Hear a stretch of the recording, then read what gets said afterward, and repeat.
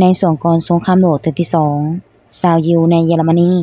เหตุการณ์ค้าผูกขาดตลาด โดยเฉพาะธุรกิจขนมปังขึ้นราคาเฮ็ดให้ชาวเยอรมนีเดือดร้อนอย่างหลาย นายกรัฐมนตรีฮิสเ e อร์ที่มีแผนจัดระเบียบโลกใหม่ และมีข้อพิพาททางเรือและชายแดน ทางบกที่ว่าติดกับโปแลนด์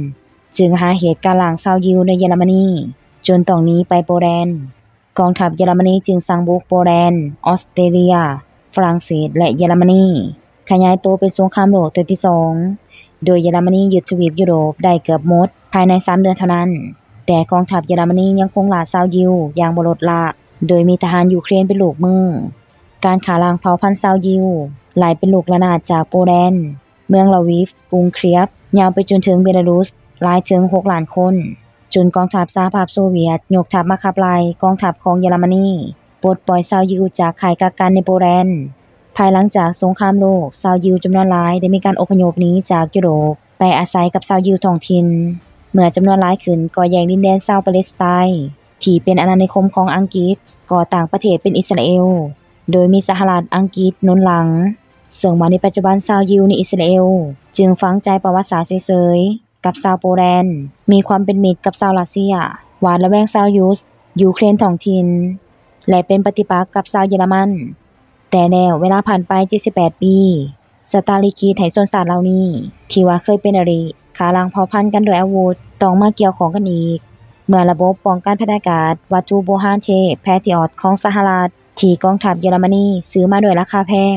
เมื่อขายต่อให้กูยืมกับยูเครนกับบ่สามารถใช้งานได้แท้สมคำย่นย่อสร้างภาพเกินจริง จากสื่อตะเวนตก แต่ถืกกองทัพรัสเซียยิงขีปนาวุธ hypersonic คินซาลทำลายถิ่มไปแล้วหาระบบ กองทัพเยอรมนีบ่อยากได้อาวุธมหาเทพของสหรัฐอีกแล้ว จึงแบกหน้าไปขอซื้อระบบป้องกันภัยอากาศ Arrow 3ของชาวยิวอิสราเอล โดยขออนุญาตสหรัฐนับเป็นสัญญาค่าอาวุธที่ว่าแพงที่สุดในประวัติศาสตร์ของเยอรมนีซึ่งว่ามีมูลค่าหลายถึง 1.4ล้านบาท เอิ้นได้ว่าดำเงินที่กระทรวงการคลัง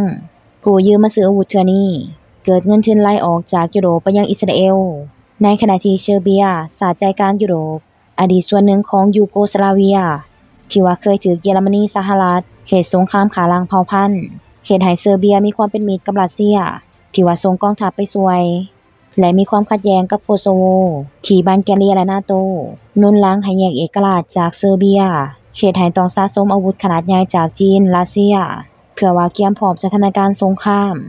ซึ่งว่าล่าสุดรัฐมนตรีช่วยต่างประเทศของเซอร์เบีย ได้เดินทางเยือนกรุงเตหะราน อิหร่าน แต่ที่อึ้งคือมีการสั่งซื้อโดรน P10 Shahed 136 และอีกบางรุ่นจากอิหร่านในจำนวนหลายถึง 20,000ลำเพราะว่าอิหร่านมีความต้องการที่ว่าจะขยายอิทธิพลทางทหารในยุโรปคาบสมุทรมณฑลบอลข่านส่วนรัสเซียได้สร้างโรงงาน โดนแว่น P10 เจริญ2แห่งใหม่ ใหญ่อลังการสำเร็จเรียบร้อยแล้ว ซึ่งวิเคราะห์ว่าชนชาติที่ว่าเคยเป็นอริกัน อย่างหุนแฮงเยอรมนีฆ่าล้างเผ่าพันธุ์ชาวยิว ปัจจุบันต้องซื้ออาวุธจากชาวยิว เป็นการย้อนแย้งประวัติศาสตร์อย่างสิ้นเชิง ส่วนชาวยุโรปเซอร์เบียก็บ่ซื้ออาวุธเทพ แต่กลับไปซื้อจากอิหร่านย้อนแย้งเช่นกัน แต่ที่แสบคงที่ค้างว่าคือรัสเซีย ได้เพิ่มสายการผลิตโดนแว่น P10 หลายขึ้น ได้อีกหลาย10เท่า จากแต่ก่อนเคยปอนไปเยี่ยมฝ่ายสัมพันธมิตรในยูเครนข่าวละลัก10ลำก็เลยพออยู่แล้วซึ่องว่าต่อไปสามารถปล่อยเพิ่มได้อีกเทื่อละเป็น100ลำ เพิดเพลินใจแสงสีเสียงวิบวับ เจอจรัสแน่นอน